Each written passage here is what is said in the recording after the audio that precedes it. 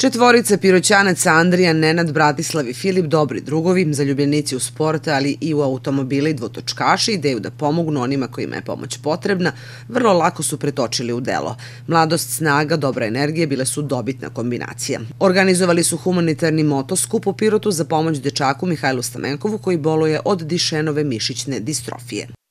Naravno, nije nama cilj da prikupimo celokupnu cifru, već da se družimo, da pomognemo koliko možemo i možda da inspirišemo ne, neki ljude da, da pomognu oni na neki sličan način. Ja studiram u Nišu, Andrija takođe, Filip, treći organizator je u Beogradu, Bane u Nišu, ali svi se vraćamo u Pirot i želimo da podignemo neki nivo ovde, želimo da Pirot postane bogati za neki sadržaj.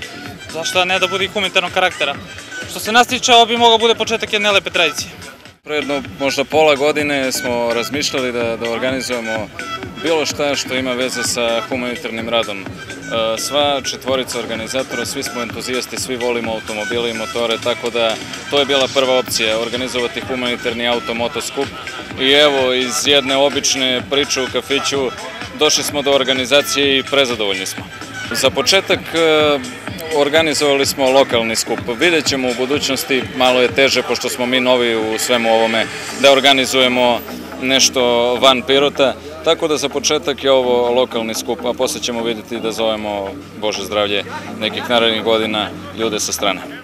Na parkingu vrtića Prvomajski cvet uprkos julskoj vrućini svi koji su došli da podrže akciju mogli su da uživaju u lepoj slici. Uredno su bili parkirani, lepo uglancani automobili, retro vozila, motori. Njima su se najviše obradovala deca i Mihajlo koji je došao sa majkom i bratom. Borba porodice sa Menkov za Mihajlovo zdravlje traja od 2018. godine kada je ovom lepom i nasmijanom dečaku diagnostikovana ova redka bolest. Poprilična suma od 400.000 eura, ali eto, Mihajlo je to diagnostikovao krajem 2018. početkom 2019. je podnet, znači, za RFZO, kao što nam je bilo obećano da će biti ili šta već. Međutim, još uvek ništa. Nije registrovan kod nas, u svim državama Evropske unije jeste i deca dobijaju, ali evo mi još uvek ništa. I pored Mihajla ima još dvoje dečaka sa istopom, znači dišenova mišićna distrofija, ali je e, bitan tip e, mutacije. Zbog toga samo troje odgovaraju tom leku atalurenu. Roditelji su Mihajlovo lečenje do sada finansirali sami, ali su neophodna dodatna novčana sredstva za lekove, specijalističke preglede, medicinske aparate i fizikalnu terapiju.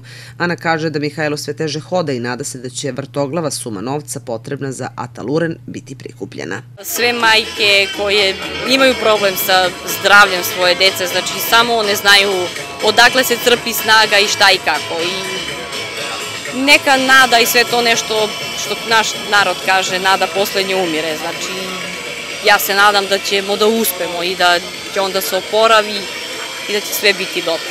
Zato i ovom prilikom pozivam sve koji su u mogućstvu bilo kako da pomogu, znači pa makar i SMS-om 1103 na 3030.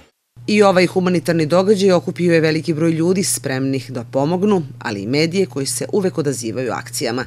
Prisutni su, pored pomoći Mihajlu, bili u prilici da doniraju novac i za pomoć Leni Ćirić, devojčici koja boluje od cerebralne paralize, koja je potrebna hiruška intervencija koja košta 26.000 evra.